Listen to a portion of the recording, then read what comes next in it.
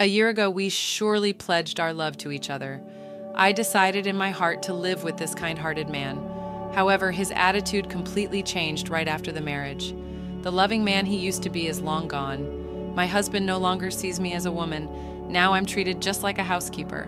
All you need to do is listen to me and stay quiet. That's his catchphrase. I wonder how long this life will continue. At that time, I had no way of knowing that a ray of light would shine on me. My name is Michelle Jenkins. I'm 28. I work as a secretary at my father's company while also being a housewife. The company, once managed by my grandfather, was taken over by my father two years ago. Being the daughter of a business owner, I've always been kept at a distance. The men who approached me are mostly after money. Of course, I've never really been in love. At one point, I stopped telling people about my family background. That's when I met the man who would become my husband, a man named David. I had asked my friend who introduced us to keep my status as the boss's daughter a secret. David doesn't gamble or smoke at all. He does drink, but never to excess. He was my ideal man. He would tell me he loved me and that he adored me. I thought I could spend the rest of my life with such a man. However, when I decided to marry David, my father said this Michelle, it's fine if you marry him, but could you keep it a secret that you're the boss's daughter? Dad, how many times have I told you? He's a very good person. He's not after money at all. That may be true, but I don't want you to have a hard time because of that. But if a year passes after you're married and David is still the same, let's talk about the company together. You can apologize for keeping it a secret then. All right, if you're that insistent, Dad, I'll do as you suggest. I agreed reluctantly with my father's proposition. My father knew of my past heartaches with gold digging men, and as an overprotective parent, he worried I might get hurt again. I decided I could share the truth with David after a year, as per my father's advice, and until then, I would just be an ordinary secretary. And so, under these circumstances, David and I got married. Now, a year after our wedding, I still haven't revealed the truth to him. The reason is simple he is no longer the kind man he used to be. As soon as we got married, his behavior became cold and distant. He would come home from work already in a foul mood and begin to nitpick at the dinners I prepared. Hamburgers for dinner again? We're not children. Can't you think of anything else? But David, you used to love my burgers, didn't you? I've made them countless times before. Don't talk back. You're always short on dishes. Besides the easy dishes like salad and soup, you should be able to make at least five other dishes. Five dishes? That's a lot. I have work too, you know. I can't manage that much. When I tell you to do something, you do it. I married you, so you should listen to what I say. I'm sorry. The warmth and kindness he used to show were gone, replaced by a coldness as harsh as ice. At the time, I only thought he must have had a bad day. But his behavior started to get worse. By the time half a year of our marriage had passed, David had become a full fledged tyrant. Not just about the cooking, he would complain about everything from the way I folded the laundry to how I cleaned the house. If I tried to protest even a bit, he would yell at me with a terrifying look on his face. Just being yelled at would have been bearable, but sometimes he would even throw the meals I made into the trash.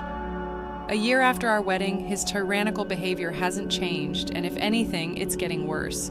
Just the other day, I was delayed at work and didn't get home until after 7 p.m. As soon as I said I'm home, he started yelling. You're late. What time do you think it is? Uh, I'm sorry. Work just got a bit out of hand. I'll start on dinner right away. Work got out of hand? A mere secretary like you doesn't have that much work to warrant staying late, but I really did. I'm handling some accounting tasks too, so there's a lot to process. Don't talk back to me. It's unthinkable for a woman to come home later than her husband. Next time, if you come back later than me, you're quitting your job. That's not fair. From fear of David, I couldn't talk back. Looking back, I wonder if I should have left him sooner, but I was pushing against the worry of my parents. When I married, I couldn't reveal the truth.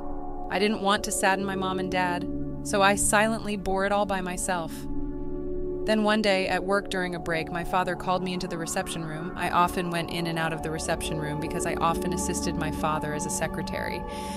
As I entered, my father was already inside. What's up? I asked.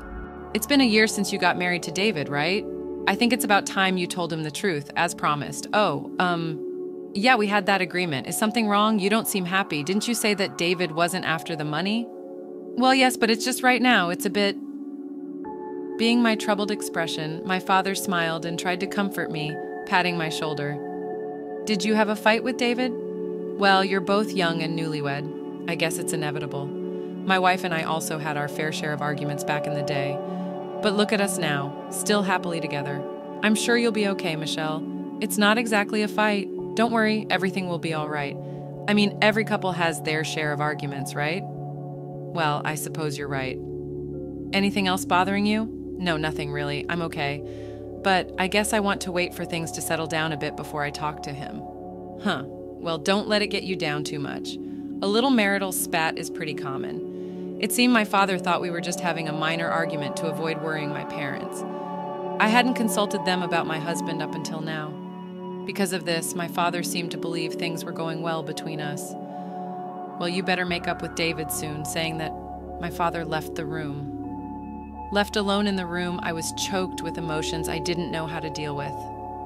I had married David despite my parents' concerns. I absolutely couldn't tell my father about the deteriorating relationship between David and me, but sooner or later I'd have to talk about it or risk arousing suspicion. To prevent my father from becoming suspicious, I had to maintain my relationship with my husband somehow, and if possible, I wanted to steer our relationship in a positive direction. That night, I came home on time to talk with David. Waiting for him to return just as I finished making dinner, he came home. I immediately broached the subject with him. David, there's something I want to talk about. Huh, I'm tired, you know. It's important. Look, we're married, right? I want our relationship to be equal and enjoy our lives together every day. Equal? What are you talking about? There's no way you and I are equal. My husband grabbed my hair, yanking it up harshly. Ouch! I couldn't help but cry out, but he didn't let go. As if mocking my wincing face, he slowly opened his mouth. Listen well. I'm the one who did you the favor of marrying you. Be grateful that I deemed to marry a plain and useless woman like you. You did me the favor, David? Didn't you say you loved me? Don't make me laugh. I just pretended to like you because you seemed obedient and would be a handy housekeeper. That's not true. You just need to be quiet and listen to me, housekeeper. With these words, he yanked my hair towards his face. From that day on, I gave up hoping. There was no chance of us being equals, and I didn't want to worry my parents, nor could I get a divorce. My appetite dwindled day by day, and I ended up just living with my roommate, my husband. Then one day, while living such a life, I woke up feeling completely exhausted. My head hurts and I feel a chill. When I took my temperature, it was a whopping 104 degrees Fahrenheit. I forced my aching body to sit up and called out to my husband. David, I'm sorry. I don't think I can make breakfast today. What? Why not? I've got a fever of 104. I'm in so much pain. Can I just stay in bed for the day? At this, my husband let out a long sigh and yelled, Slacking off chores because of a stupid fever? Get to work, you good for nothing, but please forgive me. I'm really sick. Shut up. Stop making excuses. You're just a housemaid. Don't you dare defy your master. Please, just for today. I'm begging you, I pleaded. He clicked his tongue loudly swung the door open with a bang, and left the room. Next thing I knew, my hands were shaking and my body was trembling uncontrollably. I finally realized just how close to the edge I was being pushed. If I continue like this, I'll break down for real. Continuing to live like this, it'll drive me mad, body and soul. I need to do something. But what can I do? I want to think of a way out, but my fever is making my head heavy, and I can't think straight. Maybe it was because I'd been on edge for so long, but I fell back asleep. Several hours later, I was awakened by my husband's raging voice. Hey, didn't I tell you to wake up, you dumb woman, huh? David? Outside the window, it was already dark. My fever had gone down a lot, but my body was still heavy and a faint headache lingered. Despite my state, he vented his anger. I called you multiple times. What are you doing? Sleeping? Called? I sent you a text saying I'm bringing my boss home. Prepare drinks and snacks, didn't I?